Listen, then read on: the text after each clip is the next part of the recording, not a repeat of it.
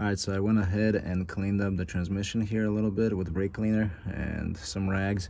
And we're gonna go ahead and remove the fill plug and then the drain plug. I'm gonna drain this fluid and, uh, you know, replace it with fresh fluid.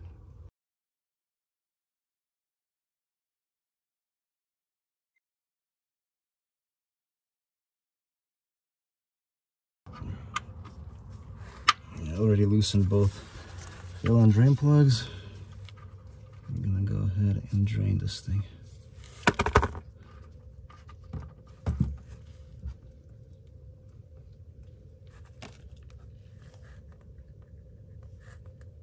And it is actually gear oil in this one, believe it or not.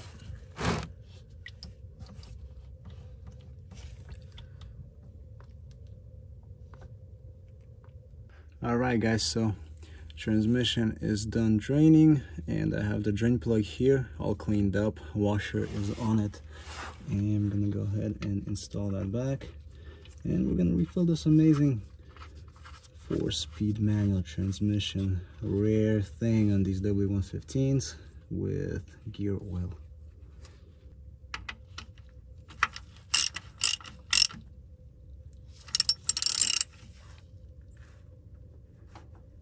German type. All right, time to refill her.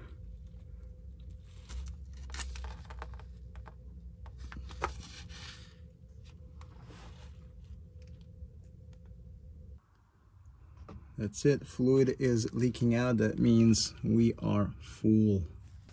So when dealing with the fill plug, I actually have to, there's not enough space to put the ratchet in there, so you have to use a, a 14 millimeter wrench together with uh, this Allen bit.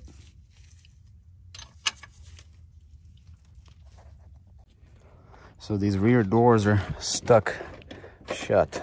Uh, can't open them from the inside or the outside, so start removing everything. Start removing this seat bottom i'm gonna lift this up because i'm almost ready to remove this door panel. I just have to get to that mechanism right there but i have to remove this uh, back seat first. So this is what happens when you, don't lubricate your door latches and door locks and all that stuff. So and that's what happens. So make sure you take care of that. Now i have to climb in there and lift up that uh, seat back and uh, you know i'll keep on working on it so on W115s, you have to get through the trunk to remove two nuts on the back side of the seat as well. And then now I remove this top portion of the door panel. And now I can finally get to that lock right there. It's a pain. I already sprayed a bunch of PB Blaster in there and letting it soak. But I'll have to slide a screwdriver down in there and press on the mechanism to open the door. Yeah, this thing is really seized up. All right, guys, so here I am starting to polish this amazing machine, just doing everything by hand using this Meguiar's compound. And uh, literally what I'm doing is I'm using this uh, sponge right here, just a pad, polishing pad. So it's coming out really, really nice, guys, as you can see. It's amazing. It's a huge difference, really. And I didn't put so much work into it. So I'm super happy about that. It looks awesome. I'm gonna keep on doing that. In the meantime, uh, well, yesterday was trying literally all day. I was here uh, messing with this uh, door, trying to open it, and I was not able to open this door. And I had to kind of loosen up this door panel a little bit. It's a little bit broken down there, but that's okay. I'll be able to glue it back together. It's like a cardboard, basically, cardboard panel. So once I take the panel off and once I open the door, I will be able to glue everything back nicely and it's gonna look awesome. So I'm not worried about that. Main thing is I'm still troubleshooting this lock and I tried to do a lot of things, but still I wasn't, uh, I wasn't successful in doing that. So that sucks, but I'm gonna keep on working on it. And also like i said my biggest thing is i want to polish this car up. Uh, i want to get this thing done and make it look nice. All right guys check out these two doors and how nice they came out. Wow. Uh, and also just so you remember uh, try to do this. If you're gonna do this try to do this in a shaded area. So that's why i'm doing this side because there's no sun on this side of the car so i'm doing this side right now. And as far as the roof i'll have to finish it uh, when it gets either dark or whatever. But check out the difference guys how nice it is. That's awesome. Just required a little bit of love and look at these amazing results. It's crazy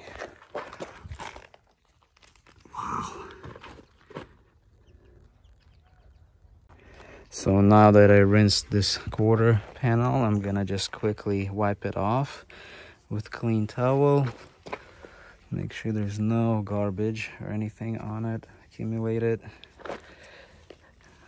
just gonna wipe it off. Make it awesome.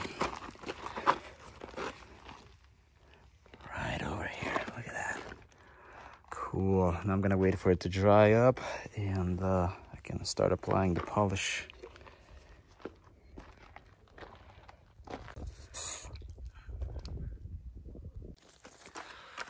So now we're literally, we're gonna go ahead and start doing just you don't have to do the whole fender at a time just do sections of it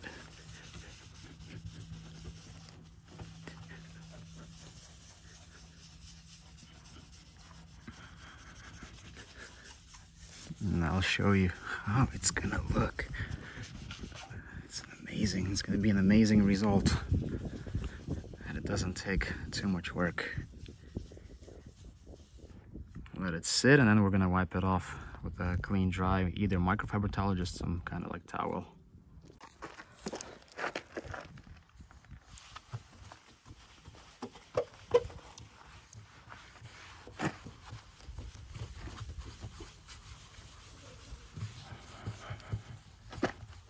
amazing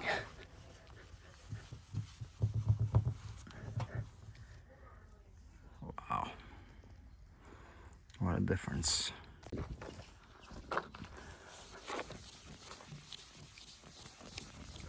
Check this out. It's amazing results. Wow.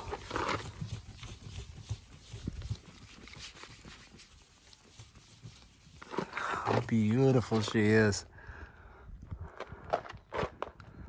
So beautiful.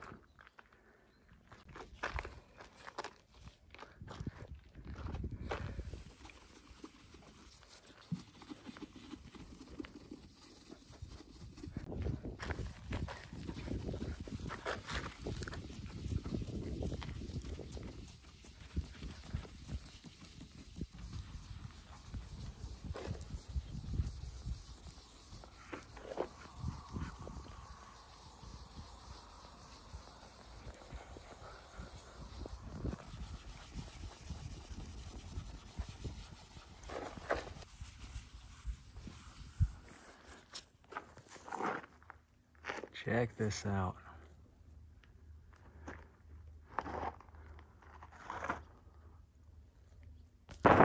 Just shampooed the carpet. Now we're gonna clean it, rinse it off. Look at that, so nice. So much dirt just coming out. All right, I'll be replacing these um, pedal pads. They're pretty bad, pretty worn out. So I have brand new ones, original Mercedes-Benz. So I just simply just grab this like that. Looks like somebody glued it. Why not just replace it, install a new one, huh? Damn people. Clean this up a little bit. Same with this one. I'm just gonna pull it up.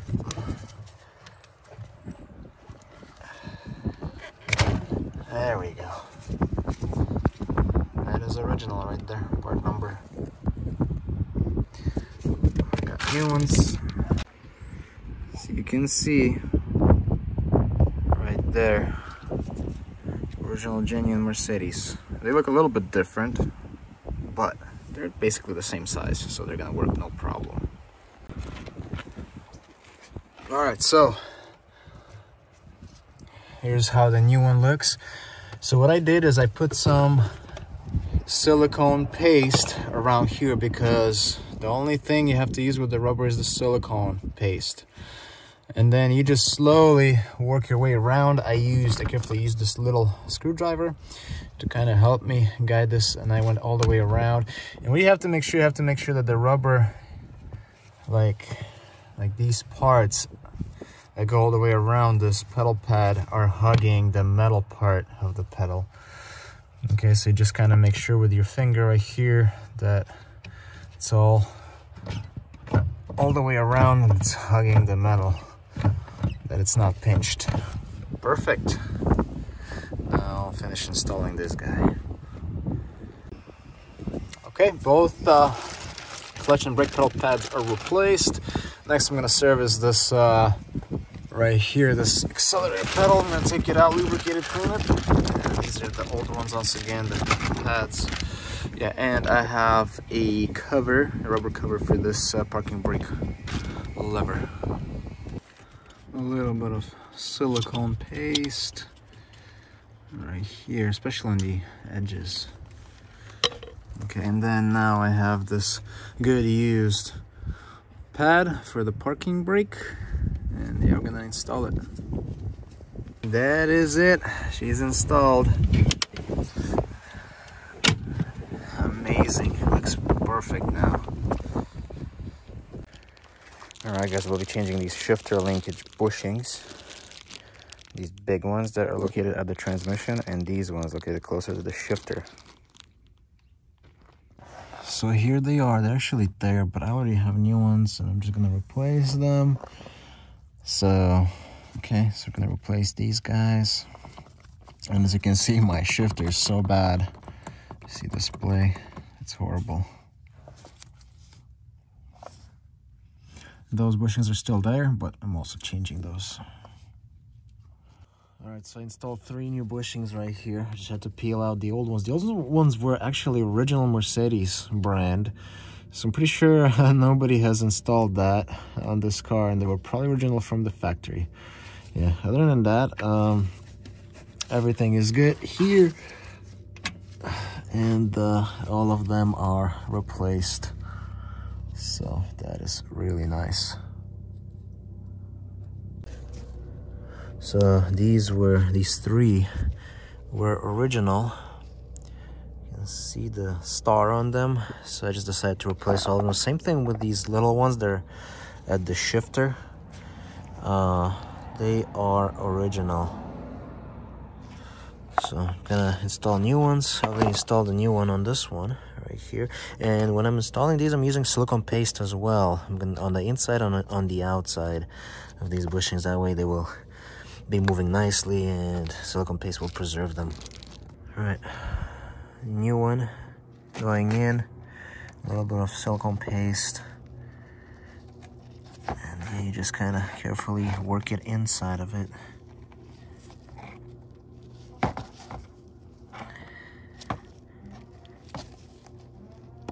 Like that, easy. Okay, so all the rods, all three bushings on the rods are replaced. The same with the ones at the shifter. I can start installing everything back. I'm gonna put some silicone paste right here too. That way it's gonna be moving really easily without any issues. So don't forget to do that. And I really, really wish that um, the bushings on the automatic transmission shifter uh, were so easy to replace as these ones. These are really like a piece of cake